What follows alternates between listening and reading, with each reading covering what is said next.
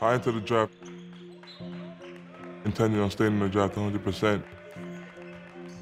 After NIL came out, my mentor, um, coaches started mentioning to me that, yo, you can make money in college while coming back. So I started thinking about it hard. After I ultimately made the decision to come back to college, I just decided that I'm gonna put my name in the transfer portal just so that I make the best decision coming back to college, you know. When it came to the NBA stuff, we left him alone. That's been my philosophy. Now, when Kofi went in and went into the transfer portal, yeah, then there were more conversations. At the end of the day, when he made his decision to come back, we're obviously ecstatic. To him, it was about a legacy. Most people don't understand what that is. At 20, 21 years old, Kofi does. And uh, was an All-American as a sophomore, understands that his jersey's gonna hang in the rafters here. He's one of the dominant players in college basketball and that he can continue to grow that legacy. Hawkins for three. Cockburn, the follow. Oh my God! Oh wow! He's always loud. He brings such high level energy. Cockburn climbing the back, and he absolutely annihilates the rim. His presence on the court, he's dominant.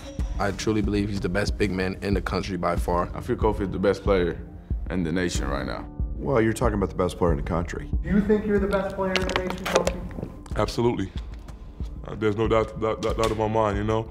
And when I have a good team like I have right now, we got guys like Plummer that helps me a lot, whether people see it or not, like with his shooting. Guys can't really double as hard as they used to. That makes my job much easier. It opens up the floor for everyone. When he's clicking, teams start to load in on him. That opens up opportunities for all the shooters on the outside. And he's grown in that area of um, passing, you know, kicking it out, looking for his open shooters. Here's Cockburn once more. In the corner, found the open man, and Kofi gets the assist. Whenever I go on the court, I just have a different confidence, you know, where nothing bothers me. I, am I'm always level-headed. I know that, you know, whatever needs to be done, I'll get it done. Uh-oh. I'm trying to break all the records I possibly can at Illinois. And I speak to him and I'm so hungry.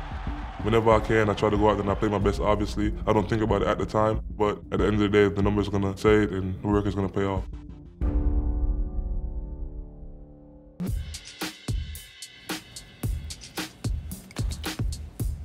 I got two guys that I cut when I'm here. It's pretty much a taper, like fixing the edges, fixing the liner. I don't really do too much with my hair. Yeah, yep, same way. you come to Champaign, right? And it's like basketball is royalty here. People love basketball, they come out to support. It's just a different bond when you get to college, it's like a different level because it's more maturity. It's like actual love when you're around somebody for so long. So those are definitely the two things that I think that really like that kept me here.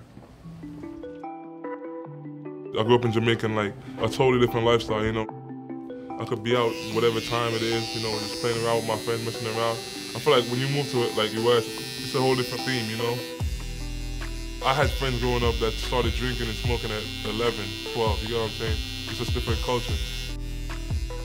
Growing up, looking at my brother, like he never did any of those stuff. He kept himself out of trouble. He was always like on the right path. He went to college, you know what I'm saying? He was one of the only person in my neighborhood to do that.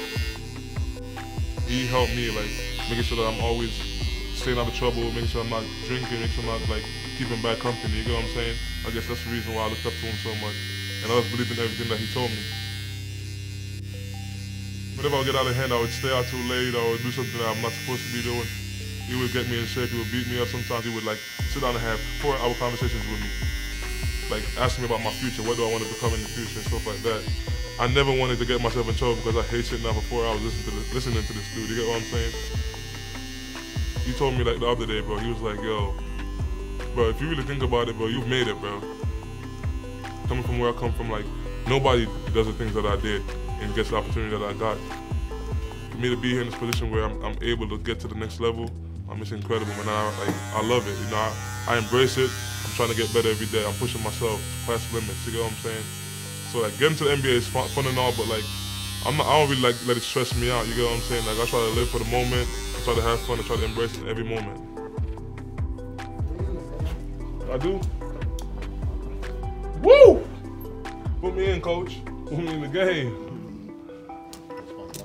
I think I got my swagger back. Should have had one of y'all cut my hair. That'd have been funny.